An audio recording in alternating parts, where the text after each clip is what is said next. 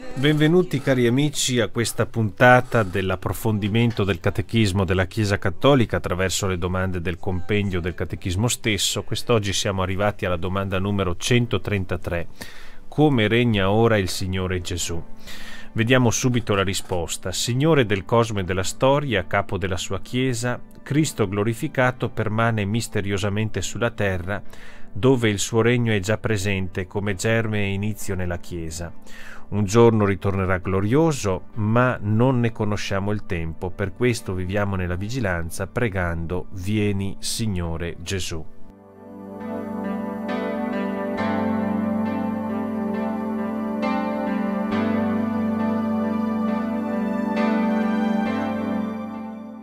Eccoci dunque a un nuovo passaggio importante del nostro studio del catechismo. Siamo all'articolo di fede che è contenuto anche nel credo niceno-costantinopolitano, quando diciamo di là verrà a giudicare i vivi e i morti, anche nel credo apostolico ovviamente diciamo questa verità, e eh, ci inoltriamo in questa grande eh, verità, in questo capitolo della dottrina cristiana, gradualmente, come sempre facciamo nel nostro catechismo, vedendo anzitutto come eh, il Signore Gesù regna ora nella storia. Dire regna vuol dire anche come è presente, come opera. Eh, il termine regno è un termine che ricaviamo dalla bocca di Gesù, è lui stesso che si è presentato come eh, regno di Dio, è vicino a voi il regno di Dio, eh, questa è la predicazione che dà inizio anche alla missione di Gesù, il contenuto è proprio il regno. E regno sta a indicare il possesso anche che il Signore ha sul destino della storia, sulla realtà stessa e quindi la sua capacità di essere presente e di agire e al di là diciamo dei nostri parametri, del nostro modo di vedere le cose e all'interno stesso della realtà, dall'interno stesso, per cui diciamo che quello che è il potere umano o le vicissitudini di questo mondo, anche se fanno molta impressione, ci colpiscono e purtroppo, ahimè, spesso producono molti mali e eh, molte ingiustizie, tuttavia sono un'apparenza rispetto al vero regno che è questa capacità di Cristo di essere presente nella storia, anche se eh, molto spesso questa sua presenza si manifesta in forme che appaiono assai fragili e deboli. Comunque, eh, approfondendo lo studio di questa domanda, la numero 133, come regna ora il Signore Gesù, vedremo bene eh, il significato di questa presenza, di questa azione di Cristo nella storia e cominceremo da eh, questo primo punto, questo primo punto che tratteremo proprio oggi, nel quale vedremo che Cristo regna già nella storia come attraverso la Chiesa. Questo è un po' il punto principale che approfondiremo in questa puntata e lo faremo studiando con calma il catechismo che eh, nel suo contenuto, specialmente dai numeri 668 fino al 672,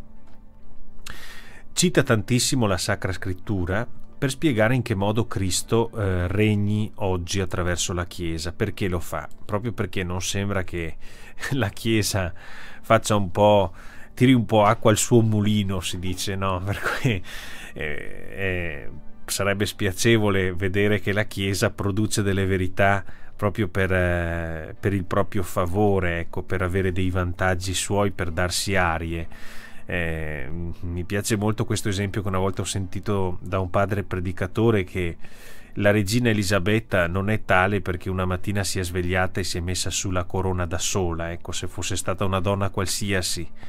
e eh, la mattina suo marito si fosse presentata con la corona in testa dicendogli io sono la regina d'Inghilterra, sicuramente suo marito gli ha detto no, tu hai perso la ragione. È chiaro che, eh, sempre eh, citando questo esempio, oh, la regina di Elisabetta, la regina d'Inghilterra, è tale perché è riconosciuta, perché c'è una storia, c'è una tradizione, c'è una realtà che l'ha portata a essere tale, no? c'è un riconoscimento anche di un fatto che attiene a alcune circostanze storiche, politiche e, anche geografiche se vogliamo, che hanno fatto sì che quella particolare persona diventasse eh, la regina Elisabetta. Così è pure per la Chiesa, ecco, non è che la Chiesa voglia autoincoronarsi e, voglia dire di se stessa in maniera arbitraria di essere eh, il segno della presenza di Cristo nel mondo, come meglio dice il Concilio Vaticano II nella Gaudium et Spes, e anche nella Lumen Gentium, il sacramento di salvezza, così si definisce la Chiesa. Ecco, per eh, superare questo limite o questo rischio, per evitarlo, la Chiesa si descrive come sacramento di salvezza citando le scritture. È un dato di rivelazione, è una verità divina, è il Signore che ha rivelato questo fatto e lo ha rivelato anzitutto attraverso una prassi, cioè già quando era presente fisicamente nel mondo, Gesù non ha fatto tutto da solo, è stata una delle prime cose che egli ha deciso di mettere in atto quando ha iniziato la sua missione, quella di attorniarsi di alcuni collaboratori, di formare un gruppo di amici perché stessero con lui e anche per mandarli a fare quello che faceva lui. Abbiamo già visto che Gesù fisicamente presente nel mondo non era in grado di fare tutto da solo e non poteva arrivare dappertutto proprio perché aveva deciso di sottomettersi ai limiti dello spazio e del tempo a cui tutte le creature sono soggette. E quindi eh, Gesù ha utilizzato questo metodo, un metodo ecclesiale, un metodo che coinvolge una compagnia di amici, di persone che lo stimano, che hanno fede in lui, ai quali egli trasmette anche e infonde il suo stesso spirito, sia attraverso l'istruzione, cioè istruendoli sul modo con cui egli eh, considera la vita, la affronta, la vive, la vede, la giudica, sia eh, nella prassi, nelle opere, trasmettendo loro, infondendo loro quel principio divino che permetteva a lui, per esempio, di compiere dei miracoli. Quindi già nella vita di Gesù noi vediamo, ad esempio, 72 discepoli che camminano per i paesi della Galilea e cosa fanno? Fanno quello che hanno visto da lui, fanno quello che lui gli ha detto e di fatto la gente vedendo quei 72 discepoli discepoli in un certo senso incontra già Cristo, cioè già viene a conoscenza di Gesù, anche se essi non sono Gesù nel senso ontologico del termine, cioè no, essi non coincidono con la persona di Gesù dal punto di vista del loro essere totale, però appartengono agli amici di Gesù, a quella schiera di amici a cui Gesù, a cui Gesù ha voluto conferire questo tipo di eh, possibilità di essere segno della sua presenza e continuità della sua opera. Quindi vedete che già il Signore nella sua vita eh, ha dato questo, questo taglio alla sua opera e ha inaugurato questo sentiero. Cristo è il fondatore della Chiesa. Ecco, la fonda proprio in questo modo, già quando era lui presente fisicamente nel mondo. E poi, e poi la Chiesa nascente scopre se stessa, avverte in sé questa coscienza di sé eh, che eh, le fa capire eh, di essere questa presenza di Cristo nel mondo, cioè eh, l'esperienza stessa dei primi anni e poi sempre fino ad oggi ha fatto vedere alla Chiesa che non è lei che si autodetermina, che si autocostituisce come un, una nazione o uno stato di questo, di questo mondo, in, secondo quelle che sono le coordinate sociopolitiche tipiche di ogni eh, organizzazione umana, ma c'è un eh, principio, c'è un fattore determinante eh, nella vita della Chiesa che non dipende da lei e che è dato proprio da questa presenza di Cristo che è il pastore della Chiesa. Io nel mio piccolo me ne accorgo tutti i giorni perché eh, dico se la mia comunità, o meglio la comunità che mi è stata affidata, dipendesse da me, penso che avremmo già chiuso i battenti e avremmo messo eh, sulla porta della chiesa eh, chiuso per bancarotta perché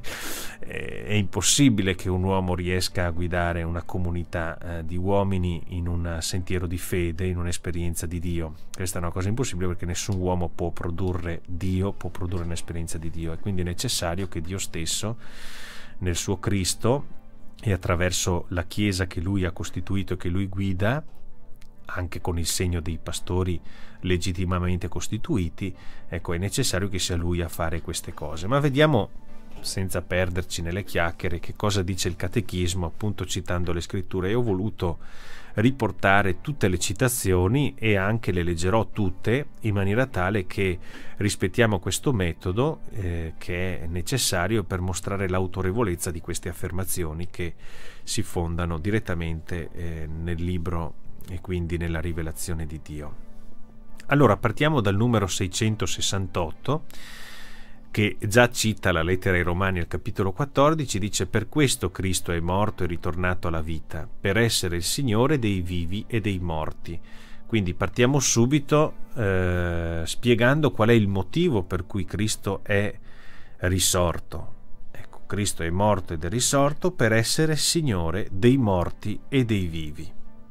Questa frase lapidaria, questa affermazione perentoria, è come eh, diciamo un caposaldo della nostra fede che ci fa capire perché qual è il fine per cui Gesù ha accettato di essere soggetto alla morte e poi di riprendersi la propria vita. L'ascensione di Cristo al cielo, e quindi ci riagganciamo con le domande precedenti, significa la sua partecipazione nella sua umanità alla potenza e all'autorità di Dio stesso. Gesù Cristo è Signore, Egli detiene tutto il potere nei cieli e sulla terra. Egli è al di sopra di ogni principato e autorità, di ogni potenza e dominazione, perché il Padre tutto ha sottomesso ai suoi piedi. E qui eh, ovviamente è citata la lettera agli Efesini dove c'è quel grande inno che recitiamo tutte le settimane nella, eh, nella liturgia delle ore il mercoledì sera mi pare e questo grande inno che viene più volte citato, no? colui eh, al quale il padre ha fatto ricapitolare tutte le cose, in lui tutte furono fatte e tutte furono costituite, eh, egli è il capo e il principio di tutte le cose, tutte in lui sussistono. E allora vediamo proprio queste citazioni, cominciando proprio dalla lettera agli Efesini al capitolo 4 che dice colui che discese è lo stesso che anche ascese al di sopra di tutti i cieli per riempire tutte le cose. Quindi Cristo non è solo Signore della Chiesa, cioè Signore di coloro che credono, ma è Signore del cosmo, di tutte le cose. E nella prima lettera ai Corinzi eh, San Paolo dice ora invece Cristo è risuscitato dai morti, primizia di coloro che sono morti, perché se a causa di un uomo venne la morte, a causa di un uomo verrà anche la risurrezione dei morti. E come tutti muoiono in Adamo, così tutti riceveranno la vita in Cristo, ciascuno però nel suo ordine. Prima Cristo che è la primizia, poi alla sua venuta quelli che sono di Cristo. Poi sarà la fine, quando egli consegnerà il regno a Dio Padre, dopo aver ridotto al nulla ogni principato e ogni potestà e potenza. È una sintesi straordinaria questa che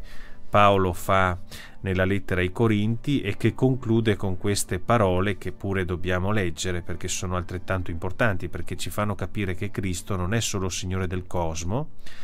e quindi alla fine egli eh, ridurrà tutto a nulla per consegnare tutto al Padre in se stesso, ma anche è Signore della storia. Lo dice sempre San Paolo qualche versetto dopo quando dice perché ogni cosa ha posto sotto i suoi piedi.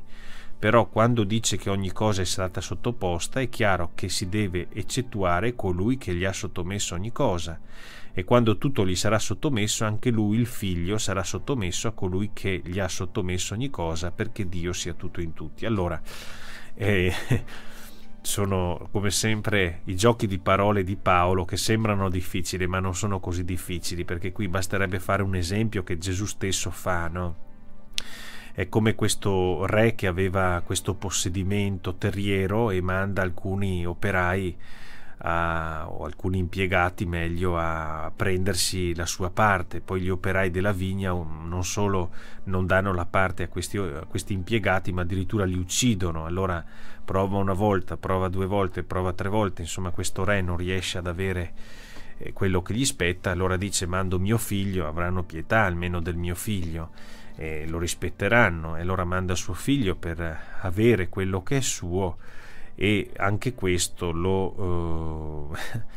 lo uccideranno, è l'epilogo del Signore Gesù Cristo che viene ucciso per invidia sostanzialmente. Prendiamoci, uccidiamo il figlio così l'eredità sarà nostra. E qual è questa eredità? Questa eredità è ciò che il figlio è, è la vita. Uccidiamo il figlio di Dio, così uccidiamo Dio, facciamo morire Dio, così la vita è nostra. Quanto presente è questa mentalità anche al giorno d'oggi, no? l'aver fatto fuori Dio dalla vita, illudendosi di poterla possedere e invece non sappiamo neanche che cosa ci succederà tra dieci minuti, siamo in balia degli eventi, noi siamo creature, è un'illusione pensare di avere la vita avendo ucciso Dio, avendo tirato fuori Dio dalla nostra esistenza, anzi diventiamo ancora più schiavi perché si diventa schiavi delle circostanze, di tutto chi non crede più a Dio arriva veramente a credere a tutto e lo vediamo. Basta vedere magari qualche puntata di striscia la notizia, vedete quanti maghi, quanti stregoni, quanta gente che, che, che illude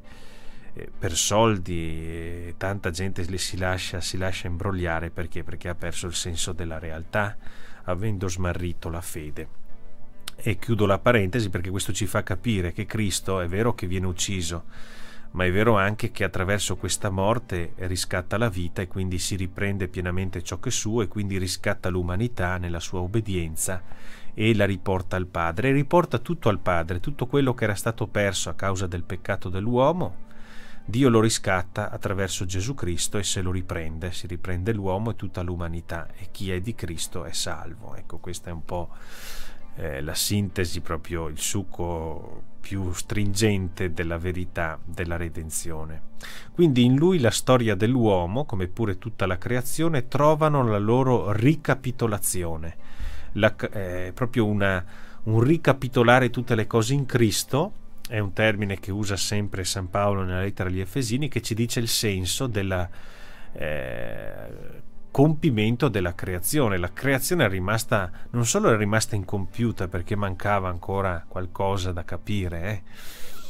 ma anche era rimasta danneggiata, fortemente ferita eh, dal peccato dell'uomo, dalla disobbedienza dell'uomo che aveva cercato di crearsi un mondo senza Dio, cioè un piccolo inferno, tramutando questo mondo in un falso paradiso illusorio e invece un mondo senza Dio è un inferno. E quindi eh, questa ricapitolazione che viene descritta appunto da San Paolo e vale la pena veramente che leggiamo una parte dell'inno bellissimo della lettera agli Efesini. E questo a lode e gloria della sua grazia che ci ha dato nel suo figlio diletto, nel quale abbiamo la redenzione mediante il suo sangue, la remissione dei peccati secondo la ricchezza della sua grazia Egli l'ha abbondantemente riversata su di noi con ogni sapienza e intelligenza, poiché egli ci ha fatto conoscere il mistero della sua volontà, secondo quanto nella sua benevolenza aveva in lui prestabilito, per realizzarlo nella pienezza dei tempi, il disegno cioè di ricapitolare in Cristo tutte le cose, quelle del cielo come quelle della terra e qui il Catechismo ci tiene a sottolineare che questa ricapitolazione non è un evento um, storico, diciamo, o politico, cioè non attiene alle coordinate con cui noi siamo abituati a pensare il potere, che è appunto un esercizio di potestà, di autorità, di libertà degli individui sulle realtà spazio-temporali oppure sulle persone, quanto invece eh, è un dominio che ha un compimento trascendente, cioè questa ricapitolazione in Cristo che è iniziata con eh, la sua Pasqua, con la sua morte, risurrezione, ascensione al cielo dove siede alla destra del Padre, è iniziata ma deve ancora concludersi e si compirà alla fine dei mondi quando appunto Cristo eh, riprende, si riprenderà proprio tutto, avrà conquistato tutto e quindi lo presenterà il Padre riscattato eh, nel regno che verrà e questo regno non avrà mai fine.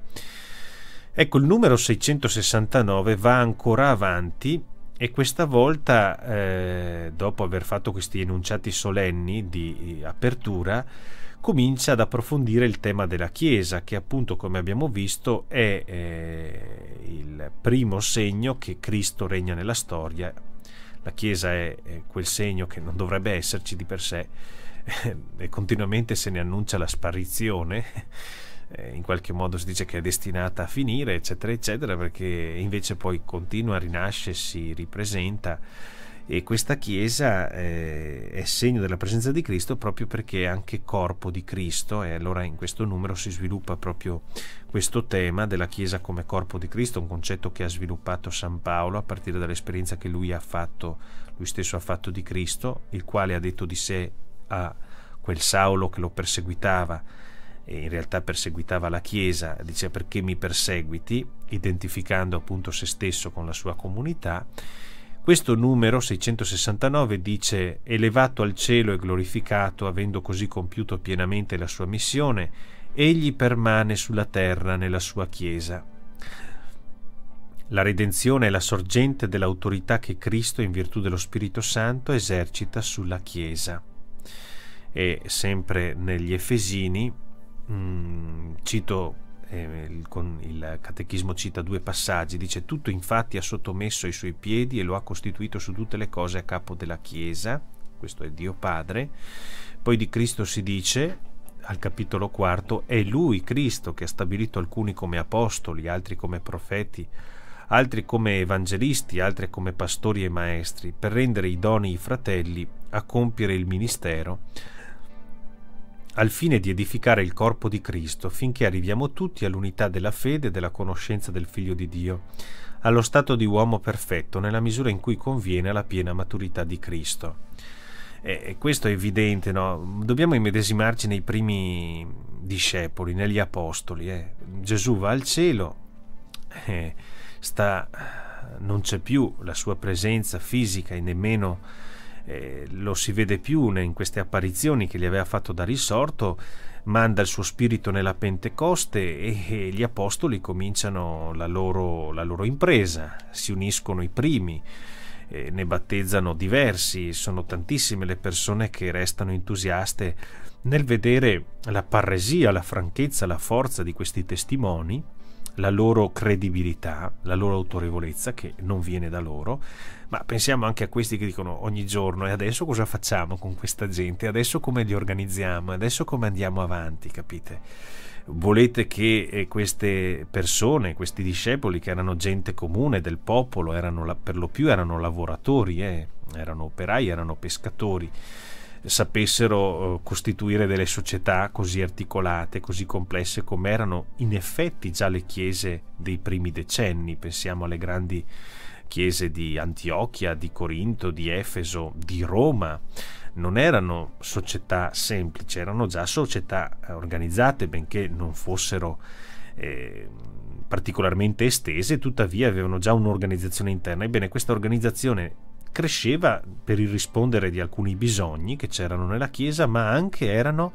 erano eh, suggerite eh, dal Cristo, che era lui che stabiliva eh, e disponeva attraverso il suo spirito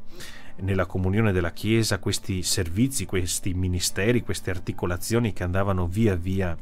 crescendo. Del resto pensiamo fin dall'inizio, per esempio per decidere il successore di Giuda, cosa fanno gli apostoli? Si riuniscono in preghiere, in preghiera e gettano la sorte su Mattia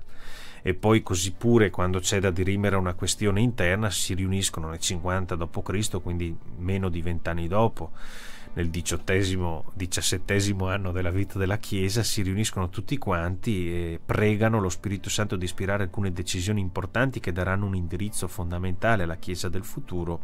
aprendola al mondo pagano. Quindi vedete che costantemente la Chiesa, fin dall'inizio, fin dal primo giorno, si sa per, guidata dal Signore, perché si vede guidata dal Signore. Quegli uomini sapevano benissimo di non essere in grado di fare qualcosa come la Chiesa, capite? E quindi eh, quando Paolo dice è lui che ha stabilito alcuni come apostoli, altri come profeti, altri come evangelisti, lo dice non perché vuole giustificare una posizione che è stata costruita a tavolino e quindi il, ci appiccica la, l'etichetta teologica, capite? Ma perché ha visto nell'esperienza che è successo così. Quindi la Chiesa suo corpo è, dice il Catechismo, il regno di Cristo già presente in mistero. Non coincide in realtà col regno di Cristo, perché è più grande della Chiesa il regno di Cristo, ma è la presenza del regno di Cristo l'inizio e il Concilio Ecumenico Vaticano II, nella Lumen Gentium, al numero 3 e al numero 5, dice che la Chiesa di questo regno costituisce in terra il germe e l'inizio. L'altro numero, il numero 670, dice che dopo l'ascensione il disegno di Dio è entrato nel suo compimento. Noi siamo già nell'ultima ora. Ne parla Pietro nella sua prima lettera, anche lui dopo una lunga esperienza pastorale, dice queste parole, le scrive la fine di tutte le cose è vicina, siate dunque moderati e sobri per dedicarvi alla preghiera. È una sintesi di un uomo che ha raggiunto la sapienza, anche non solo dell'età ma dell'esperienza che ha fatto. E Giovanni nella sua prima lettera scrive Figlioli, questa è l'ultima ora. Come avete udito che deve venire l'anticristo, di fatto ora molti anticristi sono apparsi. Di questo conosciamo che è l'ultima ora, da questo e poi anche il concilio, sempre nella Lumen Gentium, dice già dunque è arrivata a noi l'ultima fase dei tempi e la rinnovazione del mondo è stata irrevocabilmente fissata in un certo modo è realmente anticipata in questo mondo. Infatti la Chiesa già sulla terra è adornata di una santità vera, anche se imperfetta. Quindi è già cominciato questo fine, perché Cristo è già venuto e la Chiesa è già presente, è santa, anche se di una santità ancora imperfetta. Il regno di Cristo manifesta già la sua presenza attraverso i segni miracolosi che accompagnano la vita della Chiesa fin dall'inizio, ma Gesù l'aveva già annunciato, e eh, che accompagnano anche l'annunzio da parte della Chiesa. La Chiesa annuncia, ma ci sono anche dei segni straordinari, le conversioni, che non vengono meno, ma anche prodigi, guarigioni, fatti straordinari, oppure anche opere straordinarie gestite con una precarietà, una povertà di mezzi assoluta, come per esempio Radio Oreb, che è evidente che è un'opera di Dio perché va avanti con mezzi veramente sobri e poveri. E questo secondo me, eh, scusate l'ardire, ma è un prodigio che accompagna l'annuncio della parola, perché non si spiegherebbe altrimenti l'esistenza di opere come queste. Tanti dicono eh, sono pieni di soldi così perché vedono esternamente no, le opere della Chiesa. In realtà chi è dentro sa benissimo come vanno le cose. È vero, purtroppo ci sono anche delle realtà che hanno queste contraddizioni e questi sprechi talora purtroppo, però mm, vi assicuro che eh, non è sempre così, o almeno nel nostro caso non è così. Allora poi abbiamo il 671, dice già presente nella sua Chiesa il regno di Cristo non è tuttavia ancora compiuto con potenza e gloria grande. L'aveva detto Gesù nel Vangelo di Matteo quando racconta una delle tante parabole in cui descrive mm, il giudizio finale e l'epilogo di tutte le cose nei novissimi. Quando il figlio dell'uomo verrà nella sua gloria con tutti i suoi angeli, si siederà sul trono della sua gloria. Quindi il regno di Dio si compirà con la venuta del Re sulla terra quando lui verrà sedendo sulla sua gloria. Questo regno è ancora insidiato dalle potenze inique. Ecco perché, eh, per esempio, la Chiesa non è, eh, non è, ancora perfetta, non è tutta santa. Noi sappiamo che è peccatrice anche in molti suoi membri, lo vediamo dai molti scandali che vengono alla luce, per fortuna che vengono anche alla luce, tutto sommato, perché aiutano un po' a emendarsi e quindi questo regno è ancora insidiato dalle potenze inique anche se esse sono già state vinte radicalmente dalla Pasqua di Cristo, fino al momento in cui tutto sarà a lui sottomesso, fino a che non vi saranno i nuovi cieli e la terra nuova nei quali la giustizia ha la sua dimora, la Chiesa pellegrinante, sempre a Lumen Gentium, la Chiesa pellegrinante nei suoi sacramenti e nelle sue istituzioni che appartengono all'età presente porta la figura fugace di questo mondo e vive tra le creature le quali sono in gemito e nel travaglio del parto sino ad ora e attendono la manifestazione dei figli di Dio. Per questa ragione i cristiani pregano soprattutto nell'Eucaristia per affrettare il ritorno di Cristo dicendogli vieni Signore, come si dice anche nell'Apocalisse Colui che attesta queste cose dice sì verrò presto, amen, vieni Signore Gesù, sono le ultime parole della Bibbia. E poi l'ultimo numero, poi prendiamo, prendiamo un po' di fiato. Eh. L'ultimo numero, portate un po' pazienza, abbiamo il numero 672 che dice prima dell'ascensione Cristo ha affermato che non era ancora il momento del costituirsi glorioso del regno messianico atteso da Israele, regno che doveva portare a tutti gli uomini, secondo i profeti, l'ordine definitivo della giustizia, dell'amore e della pace il tempo presente è, secondo il Signore, attenti perché è il nostro tempo, eh? è il nostro tempo, il tempo dello Spirito e della testimonianza, ma anche un tempo ancora segnato dalla necessità e dalla prova del male, che non risparmia la Chiesa e inaugura i combattimenti degli ultimi tempi. È un tempo di attesa e vigilanza. Ecco, queste sono le parole della Chiesa. Vedete che sono parole di un grande realismo. Tante volte ci si stupisce come faccia per esempio il Papa a rimanere sereno con tutti i problemi che ha da disbrigare ogni giorno. Pensate che gli arrivano tutti i drammi della Chiesa sparsa nel mondo. Noi neanche sappiamo come tribola la Chiesa nel mondo, quanti cristiani ci sono perseguitati, per esempio, che vengono uccisi o che vengono eh, violati nei loro diritti fondamentali. Il Papa conosce queste situazioni come fa a starsene di sereno? Perché ha ben chiara come esperienza di fede questa consapevolezza che il tempo presente, il tempo dello spirito, della testimonianza, è un tempo ancora segnato dalla necessità, che non risparmia dalla prova del male e dal male stesso, che non risparmia la Chiesa, inaugura i combattimenti degli ultimi tempi e un tempo di attesa e di vigilanza. Adesso prendiamo un po' di fiato e ascolteremo un brano, una composizione molto bella, una cantata di un autore forse poco conosciuto, ma non per questo non importante non rilevante. Si, si tratta di Dietrich Boxtoide, eh, che eh, fu un uh, musicista, anzitutto un organista eh, del, a cavallo tra il XVII e il XVIII secolo, nacque intorno al 1637 e morì nel 1707 di origini danesi. Influenzò tuttavia moltissimo oh, la, l'arte musicale organistica della Germania del Nord, lo stesso eh, Johann Sebastian Bach fu fortemente influenzato da questo autore che conobbe, tra l'altro perché eh, intraprese un viaggio per sentirlo suonare a Lubecca, dove lui eh, era, eh, esercitava appunto il suo servizio di organista fin dal 1668 e poi anche Handel, lo stesso Handel visitò Lubecca un po' più tardi nel 1703 e fu anch'egli molto colpito da questo autore che diciamo mh, mm, fino a pochi anni fa era apprezzato solo per l'arte organistica mentre negli ultimi anni si è scoperto anche eh, nella musica e nelle opere da camera che, eh, che hanno rivelato un genio che già si intravedeva ovviamente nella musica eh, organistica, soprattutto per quel che riguarda la tradizione contrappuntistica, nel quale egli avrà una uh, grande eh, ispirazione personale, più libera e fantasiosa rispetto a quanto si sapeva prima, e anche, e anche nel brano che noi sentiremo questa mattina ci accorgeremo di questa, di questa capacità di improvvisazione anche che c'è in queste, in queste opere straordinarie eh, che sono appunto connotate da, da, questa tecnica del contrappunto che poi caratterizzerà tantissimo le opere di Bach.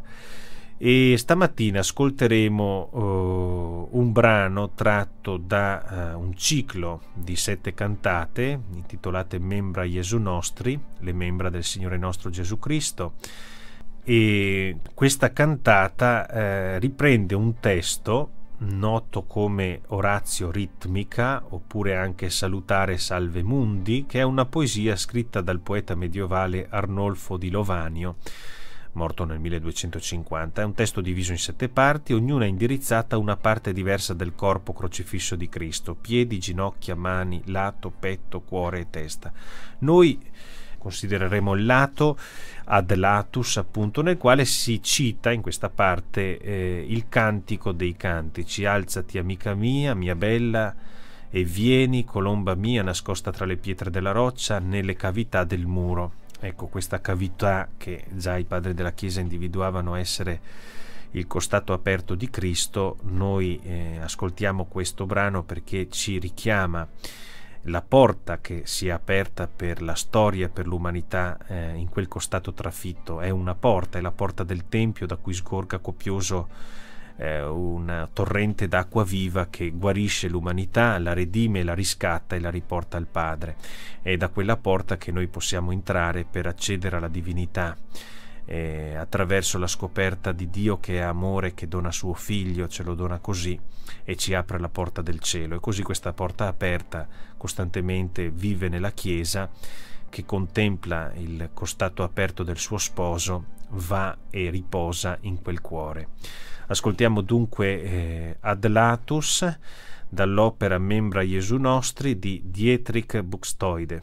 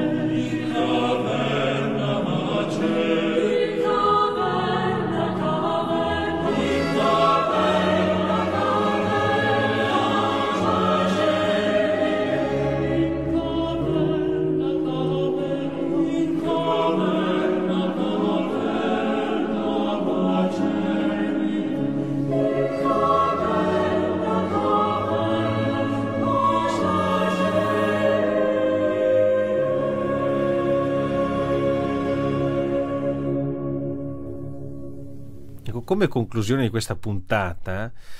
che purtroppo è corsa via e non c'è stata la possibilità di fare grandi approfondimenti perché i temi sono tanti che vengono approfonditi, c'è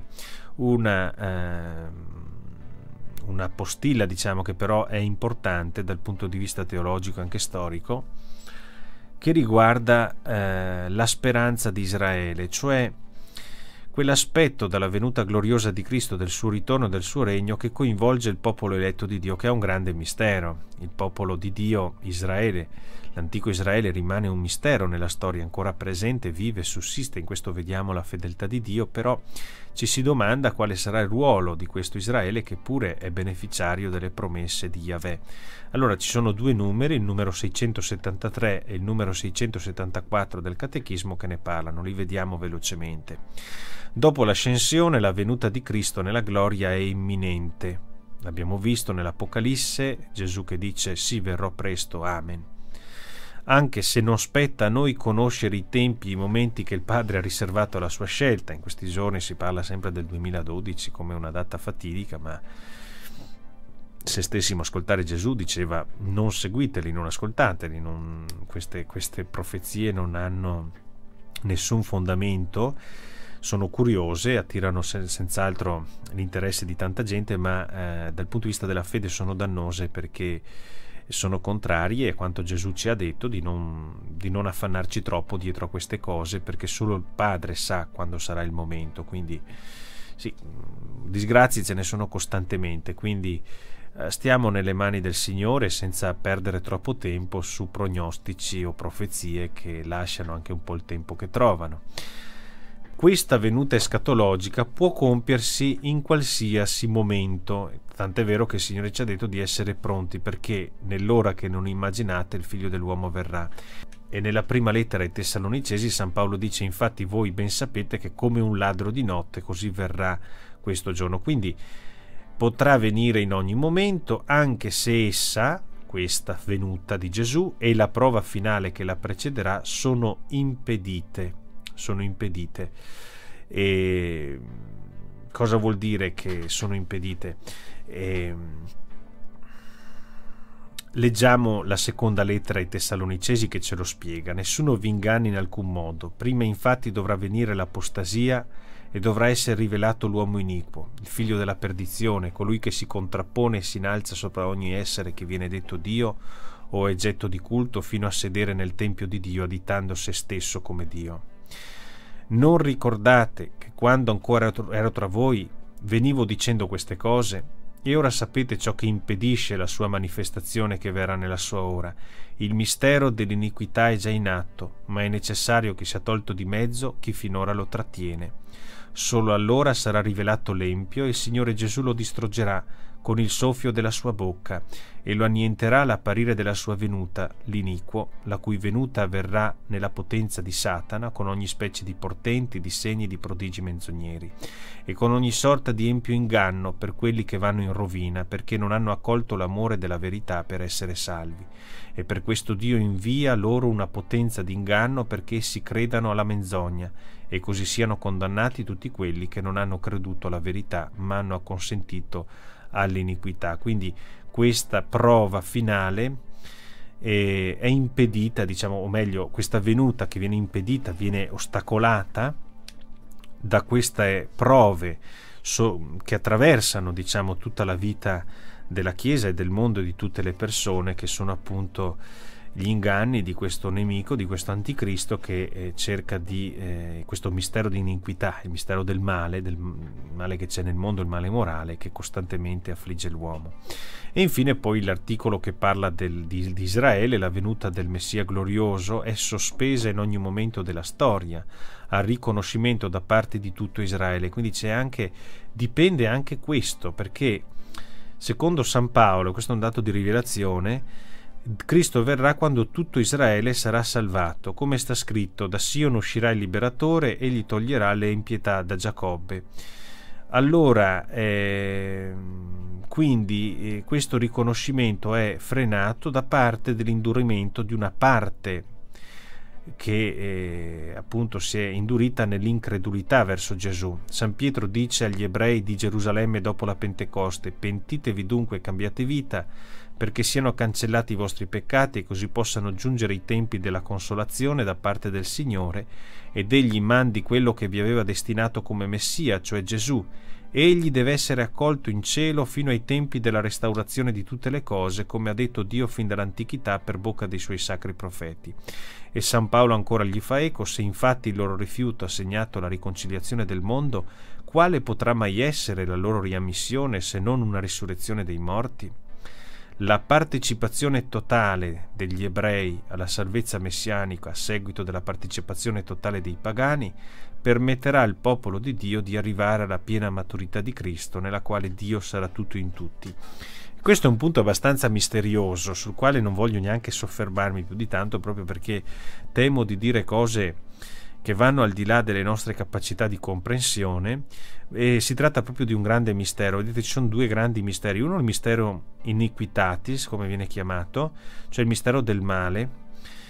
che c'è nel mondo e che l'apostasia, il rifiuto di Cristo, di Dio,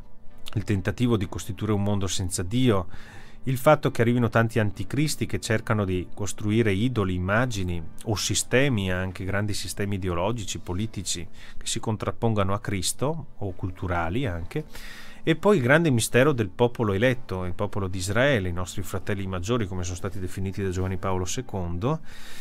che eh, secondo San Paolo determinerà in qualche modo il ritorno del Signore quando tutto Israele accoglierà la rivelazione di Cristo e quindi accoglierà compiutamente la rivelazione di Dio eh, che eh, si compie in Cristo. E su questo non voglio fermarmi di più, appunto perché, come vi ripeto, è una cosa molto misteriosa che provoca molto, che interroga molto e sulla quale però eh, possiamo eh, attingere alcuni esempi straordinari. Penso per esempio a Santa Benedetta eh, della Croce, Edith Stein, che eh, appartenendo al popolo ebraico ha scoperto in Cristo e nella Chiesa cattolica un vero compimento di quel, di quel percorso eh, straordinario che è dato proprio dall'antica alleanza, fino a dire nel momento in cui i nazisti eh, andavano a, a catturarla presso il monastero carmelitano di Echt in Olanda, dove si era rifugiata con sua sorella Rosa, andiamo a morire per il nostro popolo. Ecco, queste furono le parole che disse Edith Stein, già cattolica, riconoscendo che eh, la sua nuova fede, la sua fede era un compimento del percorso antico e sentendosi in questa fede pienamente appartenente al popolo di Israele. E questi esempi possono essere un grande aiuto per comprendere questo oh, mistero veramente grande che è appunto eh, questa, questo riconoscimento di tutto Israele, citato da San Paolo nella lettera ai Romani, al capitolo 11.